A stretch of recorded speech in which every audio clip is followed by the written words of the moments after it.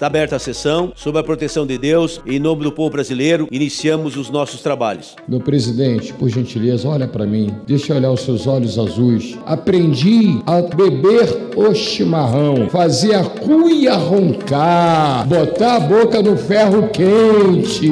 O Rio Grande do Sul só tem macho. É por isso que nós valorizamos ao extremo o Rio Grande do Sul.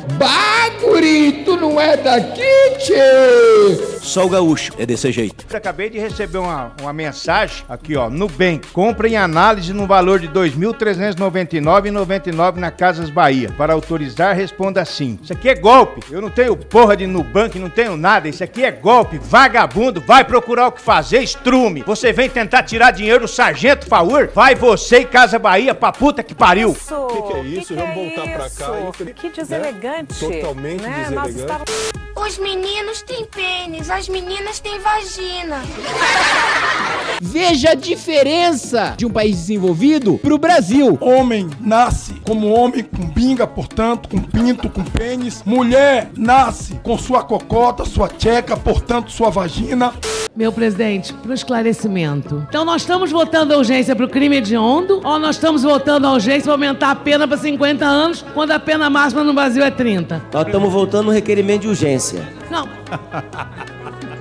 A presidência solicita às senhoras deputadas e aos senhores deputados. Aí o ministro Alexandre de Moraes, entre outros, falou que seria liberado seis plantas, não sei se fêmea ou macho. Polícia tem que olhar a planta se ela tem bilau ou periquita, agora para saber se tá certo ou... Não, pensa na, pensa na idiotice. O polícia, além de andar com a balança para ver se deu até 60 gramas, tem que ver se a planta é macho ou fêmea. Se for uma planta trans, aí cagou tudo, aí que não tem jeito mesmo. É verdade. Os meninos têm pinga, pinto, pênis. As meninas têm cocota, tcheca, vagina. E falando em mulher, a beleza da mulher gaúcha é ímpar. É por isso que se diz: a mulher mais gaúcha do Brasil, a mais bonita do Brasil, é a mulher gaúcha. E eu concordo. E por acaso, a Miss Brasil é gaúcha. Desculpa, o governador, o que quer saber do governador? Eu tô falando de mulheres bonitas do Rio Grande do Sul. Não me provoca.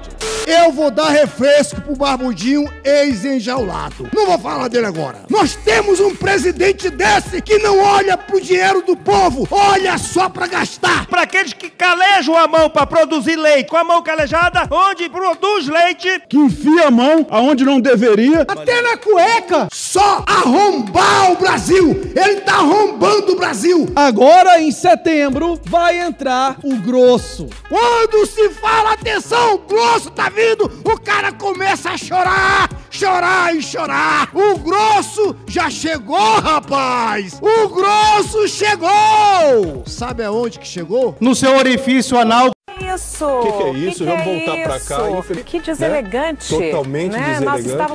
É assim que nós gaúchos levamos em frente e levando acima de tudo sempre ferro quente. Não me provoca. Sempre estive no meio do povo de esquerda. Não me defino nem como direita, nem como esquerda. Agora, homem, mesmo cortando a binga, não vai ser mulher. Mulher, tapando a cocota, se for possível, não será Presidente. homem. Deus criou naturalmente homem e mulher, que é igual a filhos. Sou amigo do povo LGBT que é mais na Bahia. E nós não podemos sair querendo fazer chacina de ninguém, nem prejudicando ninguém. Concordo, inclusive, com entendimento do STF quando entende que se um homem com homem está vivendo, uma mulher com mulher está vivendo, e um depende do outro, não podem ficar prejudicados nos seus planos de saúde, prejudicados nas suas heranças, porque afinal de contas são pagadores de impostos, têm CPS e são cidadãos de direito. Todavia, o que eu tenho dito é que nós não podemos abrir mão é da nossa fé. E olhe que eu sou um homem que votei em Lula, votaria de novo, voto muitas vezes com esquerda e seja direita depender do projeto, como eu percebo que esse projeto de esquerda é o que mais se aproxima do povo pobre, carente, negros, brancos, carentes, eu vi aqui muita intolerância, muito desrespeito. Toda vez que se falou no cristianismo, nós fomos zombados. E isso sim, sem intolerância religiosa. Mas essa palavra diz: criou Deus, homem e mulher, e disse-lhe: frutificai, multiplicai, enchei a terra. Homem com homem não faz filho, mulher com mulher não faz filho. Respeitamos